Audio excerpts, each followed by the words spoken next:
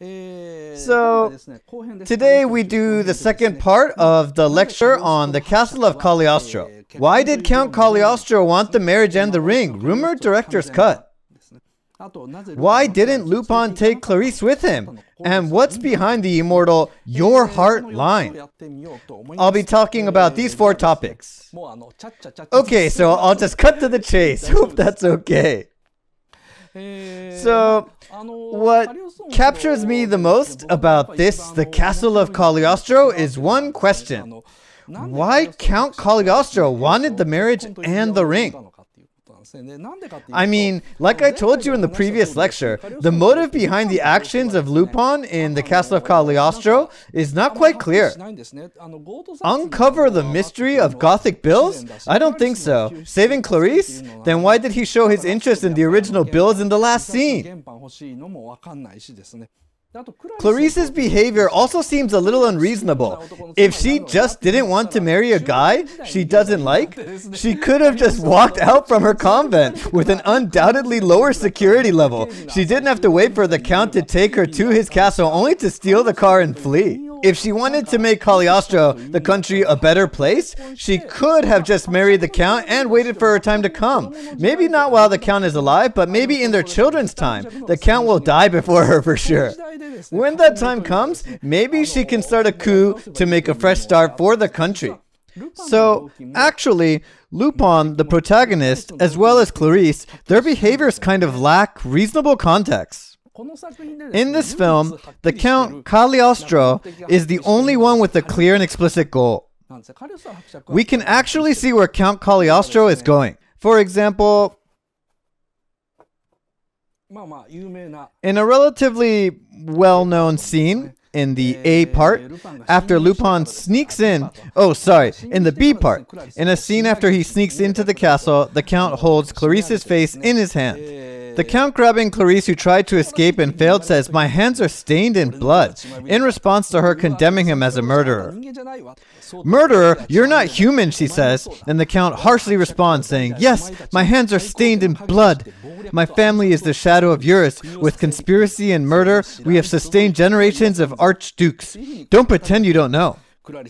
And then he shows a gentle side, saying, Clarice, for 400 long years the light and shadow have been apart, but now our two families unite, in maybe a rather indecent tone.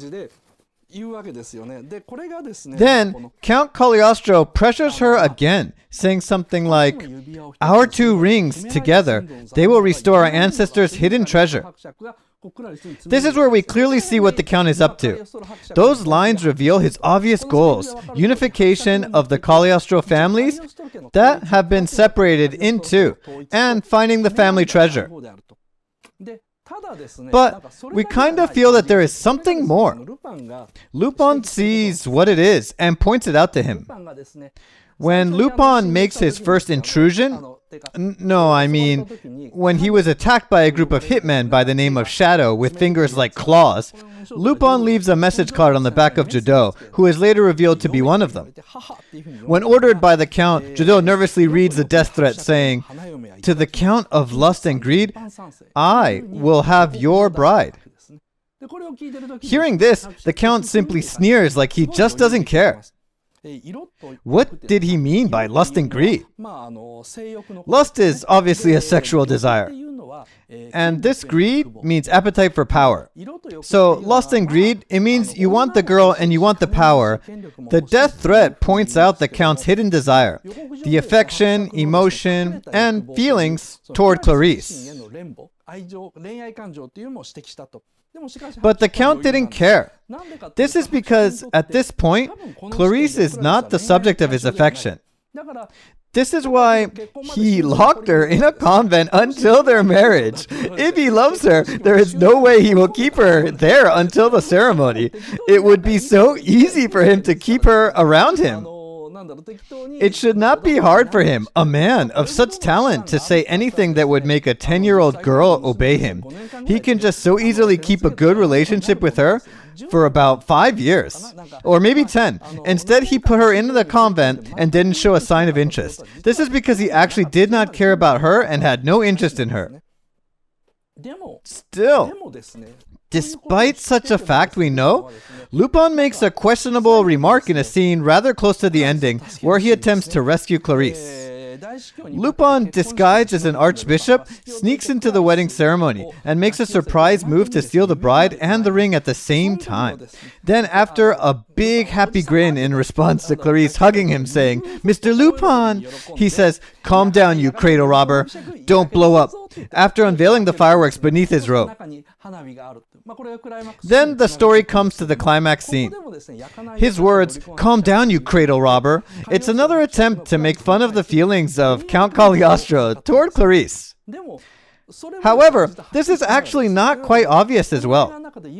So I guess we can see that Count Cagliostro, the only one with a clear agenda in the film, wants the three things I will mention.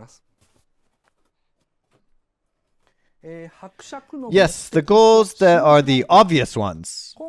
We will look into his ulterior motives behind the obvious ones. The first one, unification of the Cagliostro families. Yes, the vengeance of the Count family who had to take the dirty work.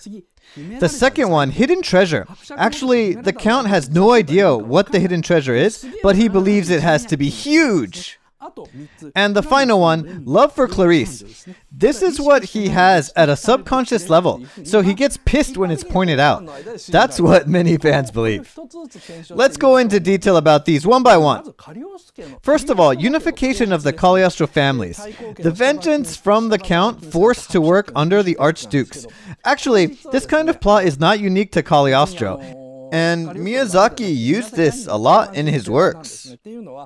For example, in Future Boy Conan, Lepka, the primary antagonist, wants to use solar power to rule over the world. And that's why he has to capture Lana, the granddaughter of Dr. Lao, quite a similar plot. In Laputa, Castle in the Sky, Muska wants to rule the world with the power of Laputa, but he was from a relatively minor branch of Laputa, so he wanted Shita from the head family of Laputa. Now the resemblance is uncanny. In this context, the Count seems like another typical bad guy in Miyazaki films. However, Lepka wanted Lana to obtain the secret of solar power. Shita, she had her Volucite crystal she inherited. But why Clarice? The ring is all she can offer, making the reason to chase her vaguer than the other two. Besides, why does the Count want to unite the family in the first place? With their gothic bills, the Cagliostro family already ruled the underground society. What more did he want? Why did he have to unite the Count and the Archduke, the shadow and the light? The film does not quite give us the answer. In fact, I think the answer is hidden in the amazing map with default settings I showed you in the previous lecture. So this is the default setting map. Um, uh, excuse me. You see this? It's written Upper Cagliostro and Lower Cagliostro in tiny letters. So the Cagliostro was divided into upper and lower classes, and not into archdukes and counts. You see this in Laputa too. Of the people in the flowing city, people ranked as priests were waiting for their gods to return. On the other hand, the lower class people wanted to rule the earth using the power of Laputa. Miyazaki is interested in this theme. The difference between social classes, with the upper and lower classes having different objectives. There was the line characterizing the Count. With conspiracy and murder, we have sustained generations of archdukes. This clearly states that the family of Count Cagliostro was not originally in charge of making counterfeit bills. So the Count's family, the lower Cagliostro, was not very much involved in the counterfeiting and was actually in charge of conspiracy and murder. And I anticipate that the upper Cagliostro, the archdukes, were in charge of counterfeiting. To explain this, I'll give you a description of the currency back in the days. So,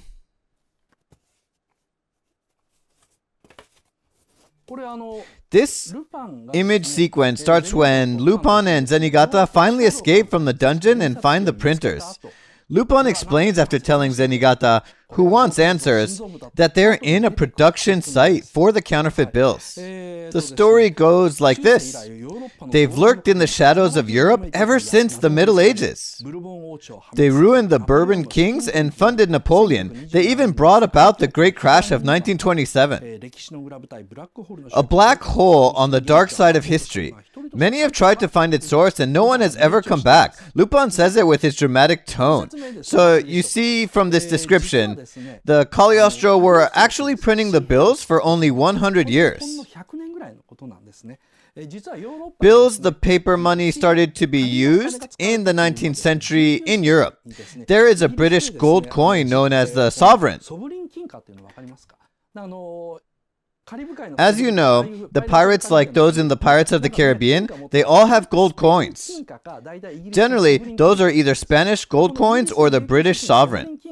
The sovereign was issued in England in the 19th century. Since large amounts of gold coins are too heavy to carry around, banknotes were issued by banks, who guaranteed that the notes could be converted back to the corresponding amount.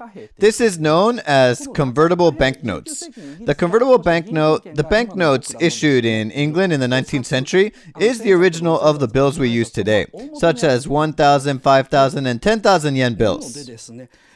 That's why this image shows the early Cagliostro actually making counterfeit coins. Next image. This shows the medieval period, I mean, the French Revolution.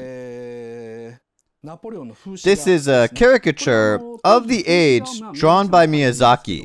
You see Napoleon with the globe the globe with the fuse. This indicates that Napoleon was trying to conquer the world. But there was a time limit. You see the fuse is lit. He has to hurry. So Napoleon was trying his best to conquer the world. He cannot waste his time. Why? Because this sack of money he carries, it has a hole, meaning that he is almost broke. With this single caricature depicting that time, Miyazaki indicates that Napoleon was facing a major financial crisis and that the Grand Duchy of Cagliostro, ruled by the Cagliostro family, was backing him up. About ruining the Bourbon kings, there was an incident known as the Affair of the Diamond Necklace. Actually, in this affair, Marie Antoinette herself did not purchase the necklace. Her friend, her best friend, some madam, purchased or attempted to purchase this absurdly expensive necklace, a diamond necklace that would have cost about 400 billion yen in 2018. Marie Antoinette was set up as a guarantor for the deal, the position she denied when she found out. Anyway, this led to a huge scandal in France, with people making up rumors about a lesbian relationship between the queen and madam. It was taken to court, but the absolute bad guys who actually tried to frame Marie walked out free of charge, directing the wrath of Parisians towards the queen. This is known to be one of the factors that triggered the French Revolution.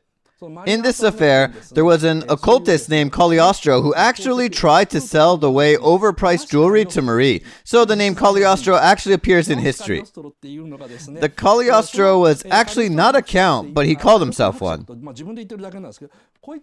He was an alchemist and a member of the Freemasons. There are historical facts about him, and the guy was not actually a count. There was a man who did research to find out that Cagliostro was just a countryman from Sicily, Italy. That man was a great German writer, politician, and thinker at that time. His name was Goethe. Goethe got angry about Cagliostro and decided to reveal who that guy actually was. So he took a personal trip to Italy and published a book about it titled Italian Journey, where he claims that he has finally found out the truth about Cagliostro. So you see how huge the scandal caused by Cagliostro was. As mentioned above, he was an alchemist and a member of the Freemasons.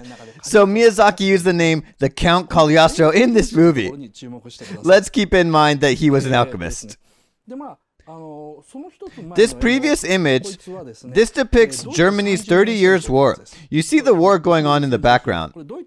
This German 30 years war is known as the last and the largest religious war that broke out between the Protestants and the Catholics in the 17th century.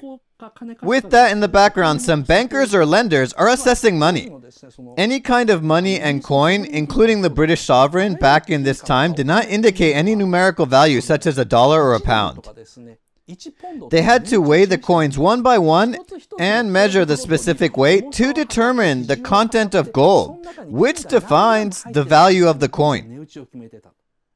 So engraving values on the coins was nothing more than formality, and here you see the transaction of that. That's what that money was in this age. And then this image transitions to here we go. This image. German soldiers are finding a huge amount of German mark bills, which should be fake, in a carriage of a crashed Royal Air Force, I mean aircraft. This insinuates that Cagliostro may have also helped the Alliance win World War II. This depicts that their counterfeit business became major enough to even team up with the British government. Okay, let's return to the castle of Cagliostro. These details clearly tell us that the Cagliostro family introduced printing to their counterfeiting only after the beginning of the 20th century. This means that logically, they had to have spent most of their time, that is from the 16th to the 19th century, making counterfeit coins.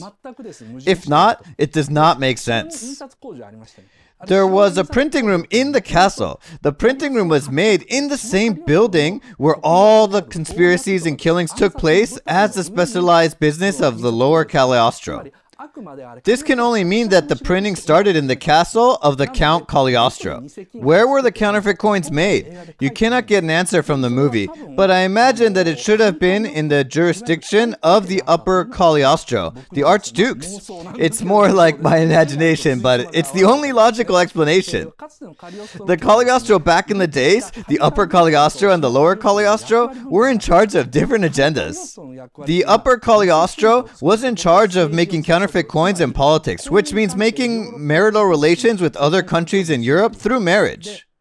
Meanwhile, the lower Cagliostro, the Count, was in charge of conspiracy and murder. These are the basic statuses of the upper Cagliostro and the lower Cagliostro. The actual Cagliostro in history was an alchemist, an occultist trying to make gold from less valuable metals such as copper and lead. I think Miyazaki translated this image into a group of people manipulating the value of the coins they issued, and used the name Cagliostro and counterfeiting as their background. If they were counterfeiting bills from the start, the story of the history of the Cagliostro family could have just started from the 19th century. The year 1517 was designated, clearly indicating that they were in the coin counterfeiting business. However, the coins, the business of the upper Cagliostro, became worthless.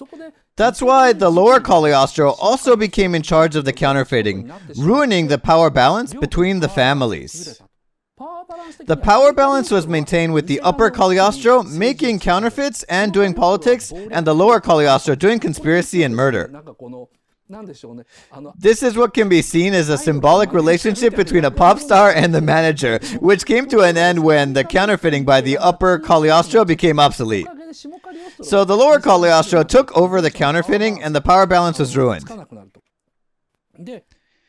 The Count family making counterfeit bills, because the Archdukes no longer could, would think why they have to be the lower one. Why do we have to be under the Archdukes? Such doubts and the anger of the Count Cagliostro are only natural. That's why the Count Cagliostro planned the assassination of the worthless upper family. The killing succeeded and he embarked on modernizing the Grand Duchy of Cagliostro. Supposedly, this should be the truth behind the killing of the archdukes. It was a modernization movement. Why did the counterfeit coins made by the archdukes become worthless? That is because as mentioned above, the sovereign was issued in the 19th century, but soon it became substantially pointless carrying around a load of coins and making payments.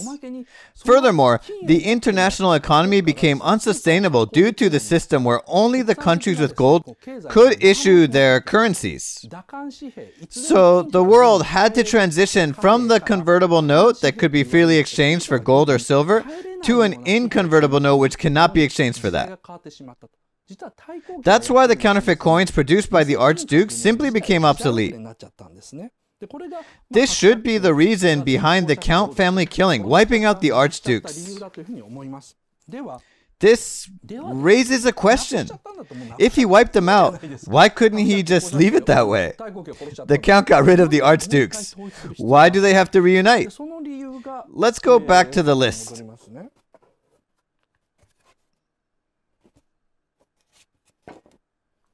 Okay. Uh, the Cagliostro families had to unite. It had to happen because of the hidden treasure.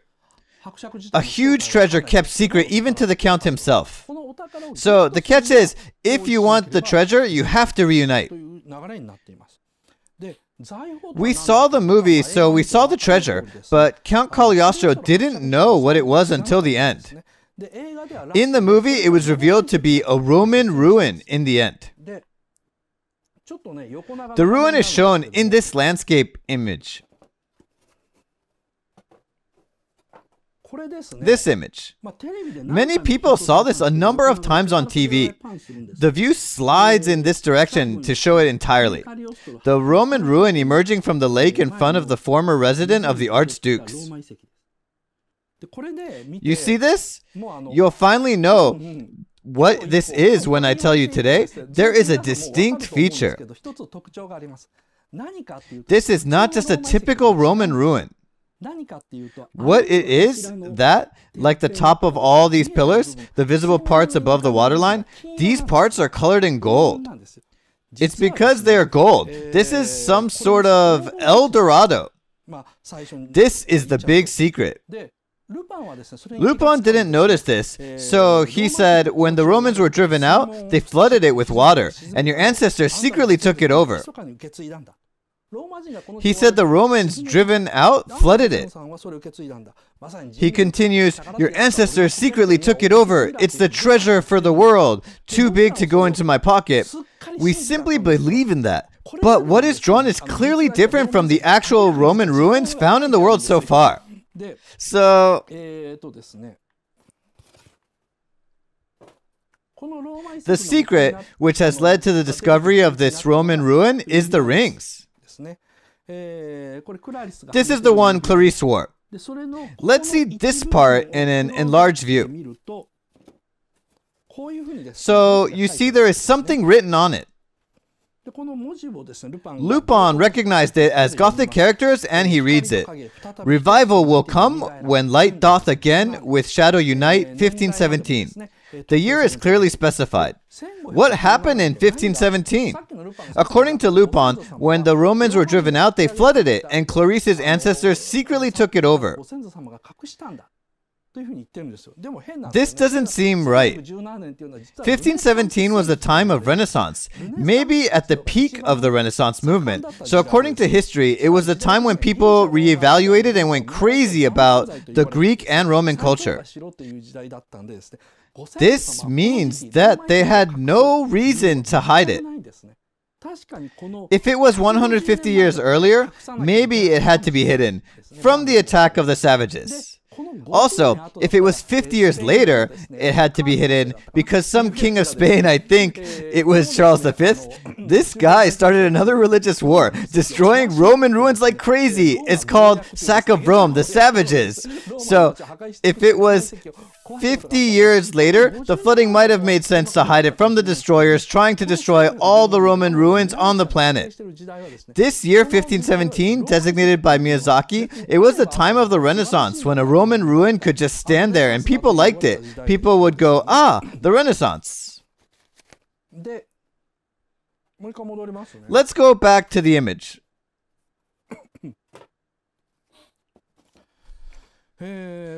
These parts above the water level, they're all gold. The roof, the pillars, they're all golden.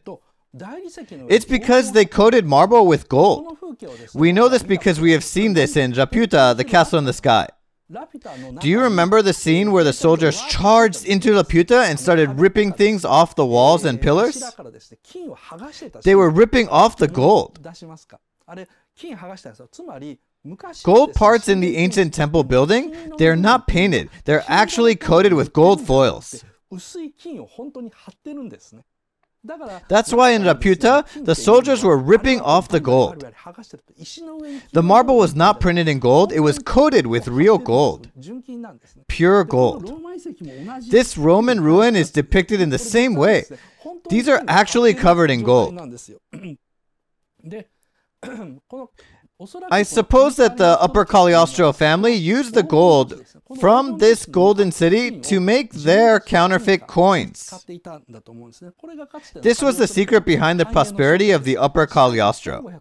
However, I think around 1517 they used up all the gold, only leaving some thin gold foil in these upper portions. You see, a place in this Roman ruin where Cagliostro, I mean Lupin and Clarice, took a walk holding hands. It has a rather marble-like color. Only the upper part from the bird's eye view you first see is gold, and where they take a walk, it's plain marble, like you can see in the white background. This means that the gold has been ripped off. So, what happened is that around 1517, they used up the heritage of the Golden City almost completely leaving gold only on a few difficult to reach locations like on the roofs and on the pillars. Then the ancestors decided to submerge the ruin and hide it. Why? Because they wanted to hide the fact that they were out of the gold they used to issue their coins. I think they disclosed this golden city to a limited list of people like kings and the pope to make rumors and bluff people into believing that Cagliostro has the divine financial power to issue an unlimited amount of coins and alchemistic power power to make an unlimited amount of gold. Backed by this reputation, they started counterfeiting. Up until 1517, the Cagliostro actually had gold, so they issued gold coins. When they ran out of gold, they started making fake coins. This is the reason why the Cagliostro family split in two, and it is the secret of this year. This is the biggest secret they had to hide because they wanted to cover up the fact that they were already out of gold. I summarize this for the sake of easier understanding. Here, the history of Cagliostro. The history from the Otaking perspective. From the Middle Ages to around 1516, they prospered thanks to the gold from the Roman ruin. But then they ran out of gold, so they flooded the ruin to protect their reputation. Then, until around the 19th century, they issued fake coins claiming they were made using alchemy. And from the 19th century to around 1970, they shifted their business from fake coins to counterfeit bills. This shift ruined the power balance, resulting in the Archduke family being assassinated and their residence burned down. In 1979, no, 78, the Lupin incident occurred. This incident, I mean a major affair that could even lead to a political crisis. So, the Lupin incident resulted in the revival of the Archduke Cagliostro. The revival of the Archduke Cagliostro completed by Clarice de Cagliostro taking the throne. So, this was a chronological history of events only within the Cagliostro family. So, Returning to the first question, why did the Count want to unify the Cagliostro families? We'll go into this little further in detail later. The Count actually did not know what the hidden treasure was. It was hidden in the past to hide the fact that there is no more gold. And the great sarcastic twist in this film is that the Roman ruin came to light after 400 years, only to be reassessed as the treasure of the world. And in summary, the Count destroyed the Archduke family that was already useless.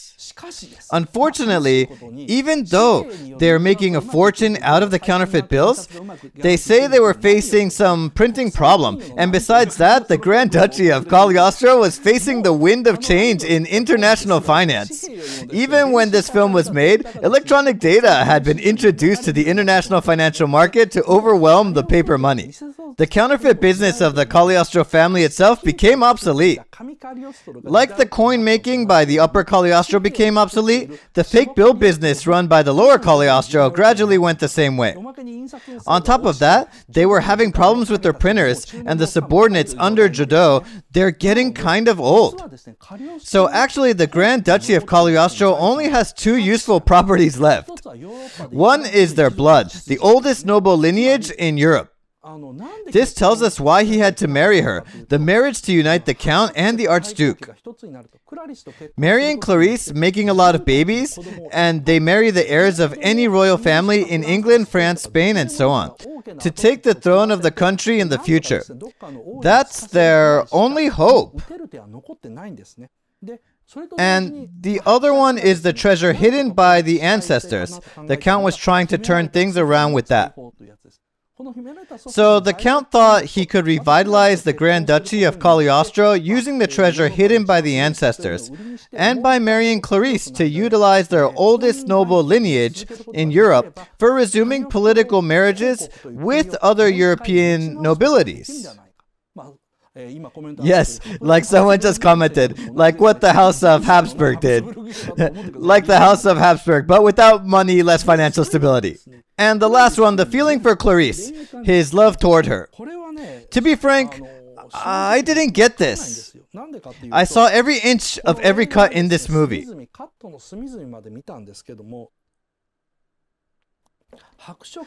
But could not find any evidence or trace of the Count being in love with Clarice. Not at all. Actually, I did find some scenes that may insinuate it, but when the scene changes, the Count just simply tries to kill or abandon her. Miyazaki tried to be careful to not blend in such amorous feelings in the film. As the Count is depicted as the man of stoicism, he may be hiding his feelings, but it seems rare for Miyazaki to completely eliminate such an aspect. So why did Lupin make fun of the Count saying lust and greed and cradle robber? To me, it's quite obvious. The Count Cagliostro is the shadow of Lupin, his alter ego. In the lecture of Laputa, I told you that Pazu would have turned into Muska if he hadn't met Sita. Similarly, Lupin and the Count Cagliostro, they are two sides of the same coin. In the previous lecture, I talked about the structure of the opening sequence of Lupin the Third. Lupin and the clan are lonely because they live in the outside world, the underground world distant from ordinary lives of ordinary people. And the Count, he actually tried to reach the world of light from the outsider's world, the underground world, the world inhabited by Lupin. The Count is more than aware that he is going nowhere with his counterfeiting and killing gigs. He knows that it would not bring a bright future to the Grand Duchy of Cagliostro. That's why he joins the UN, makes friends in Interpol, and broadcasts his wedding ceremony live to the rest of the world. The oldest noble lineage and the ancestors' treasure, he tried and wanted to use them to make his life legitimate. He wanted to believe in the oldest noble lineage and the ancestor's treasure because he knows that his hands are stained with blood. He says, Yes, my hands are stained with blood, but so are yours. This is just his tsundere action. And what he tried to say was, in a sweeter tone, Yes, our hands are stained in blood, and we must hold them together to try to live our lives in a place in the sun. The luxurious dinner, the banquet, and the ceremony symbolize his rebel against the Dark Count Cagliostro family. He actually wants to be the archdukes he destroyed. This film starts with Lupin hitting a casino, throwing the money out after realizing that they're fake, and coming to Cagliostro. Actually, Lupin is also getting sick of the underworld and comes to Cagliostro longing for an ordinary life. So it's only natural to reunite with Clarice. That's why Lupin believed that Count Cagliostro wanted the money and fame and wanted the girl. They are both the same, two people living in the underworld trying to reach for life under the sun. But to do so, Lupin resorts to his thieves philosophy, whereas the Count resorts to conspiracy, what he and his family have been doing for ages. So you see, they don't change their ways. They have pride in what they do. So that's why Lupin believes that Count Cagliostro wants Clarice, like he wants her. Count Cagliostro didn't mention that at all. It's just Lupin's one sided belief that the Count wants Clarice. I've seen this relationship. It's identical to the one between Ging and Pariston. They're the characters in Hunter x Hunter, and they're actually the same. Ging mentions this saying, You and I are the same. We always come up with unconventional ways. That's why they just cannot stand the existence of each other. So, Lupin and Cagliostro, if they had met in another time and place, you know, Jigen and Goemon, they're just no good guys as well. So, if they met in another time and place, he would have replaced them to be Lupin's sidekick, and the pair may hate each other as long as they live. It's a tragedy caused by the encounters of three people Lupin, Clarice, and the Count, who were never supposed to meet. So, in this story, Clarice was released, the Count died, and I personally believe that this Lupin incident was Lupin's last gig before he disappears from history. I'll get into this in the second half. Okay, in the second half, I'll be talking about the rumored director's cut of Cagliostro, the director's cut, and why Lupin didn't take Clarice with him as well as the epic corny line, Your heart, that makes me go, Oh, come on! Every time. What does it mean? This Castle of Cagliostro, some female pop stars back in the 80s, such as Tomomi Nishimura, I think, said they are a big fan of the movie, and further go on saying, I want to be in love with Clarice and Lupin is the man of my dreams, yada yada yada. Okay, yeah, I mean, they definitely got the wrong idea from watching it. Maybe it would be fine for some teenagers to think that way, but I mean, come on. There is a book called Four Years Later. It was published four years after the release of The Castle of Cagliostro. Miyazaki just rambles on about how he actually feels about the film in the interview in the last part of the book, and I will analyze that. Okay, so please fill out the questionnaire. It's a little early, but I'll finish before I kill my throat. While you're filling it out, I'll talk about what we are going to do in the next episode. It's the end of the month, so I'll be reading messages from my viewers. Comments, questions, anything you want. You can uh, just pretend to be someone or something. Like, for example, I'm the first lady of the prime minister of Japan. People kind of hate me lately. Or you can discuss your worries like, I'm a manga artist and I don't know where my career is going. You can just tell me some recent episode you encountered. That's what we'll be doing the next time. I think I deserve a slightly easier episode. I mean, we do the message thing next week, and I think I'm finally doing the Sapiens, a brief history of humankind after that. It will be hard for sure. So please give me the numbers. Uh, thank you. I was definitely not in my best condition. My voice is hoarse. I finished five minutes earlier than usual because I prolonged the last one. No additional time for the free part? No, I did so much last time I learned my lesson. Well, before we go to the second half, maybe a little chit chat. So basically, the episodes on Ghibli's work I do would basically involve Otaking sharing his imaginations. Laputa Castle of Cagliostro we picked up in this lecture, and the next one will be Grave of the Fireflies, or Porco Rosso, I think. There's too much subtext. I didn't realize this until I actually studied him, but Hayao Miyazaki, he has his unique and uncompromised style. So he knows for sure about the history of currency and when the transition between bills and coins occurred. In the images depicting the history of the Gothic bills I mentioned earlier, he uses the image of Napoleon while Lupin is talking about the fall of the Bourbon kings. You'll know why if you look closer and think, but you'll never know unless you concentrate. So the guy is so shy. It's not categorized as tsundere, he's like a king of twisted people. Introduction of analysis on works of such a person has to entail a footnote that it's just an imagination, and that's what I'll be doing. Well, not only Miyazaki, but people who make anime in general, they put so much thought into their work. This is something I learned a lot from my experience in making anime and games. So when I see interviews of anime directors and manga artists, I know for sure that they're holding back what they actually want to share with the world. Trying so hard. Mamoru Oshii is an exception. He just says everything. So this otaking imagination thing is based on my idea that for us, especially people in their 20s and 30s, when we see anime, it would be more interesting to go deeper into what's between the lines. That's why they hate you. Ah, uh, exactly. They hate me for doing this. I mean, I can wait 1,000 years, but Ghibli would never offer me a job, like for commentary. Every time I read an official Ghibli book or commentary, I can clearly see that the company is offering the job to people who see their film as how Miyazaki wants them to.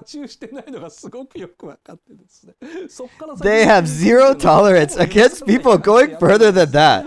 Quite interesting. From my personal experience of making anime, I know that people making anime want audiences to see only in a way they want it to be seen. Maybe it's like a comparison between diorama and a shadow box. Movie makers usually don't want you to see from any angle and direction, but only in a particular direction. That's why the commentaries become like what I mentioned. Okay, so let's go to the second half. In the second half, I'll start from the section The Castle of Cagliostro Fiasco in a book called Sweating and Drawing by Yasuo Otsuka. He confesses a deep remorse in this section. Okay, please switch to the second half. Thank you for watching until the end. I am the most famous Otaku King in Japan, Otaku King Toshio Okada. I started planning to talk overseas about animations and movies popular in Japan in English. Before long, I'm planning to add English subtitles to movie talking in Japanese, so please look forward to it. If you ask a, a question in this comment field of this video, maybe I will talk about comments as a theme. We welcome the people who are interested in the forefront of Japanese otaku culture and those who want to hear stories of interesting animations and movies. So please sub subscribe our channel. If there is good relation, I will get better and I will do my best. Thanks.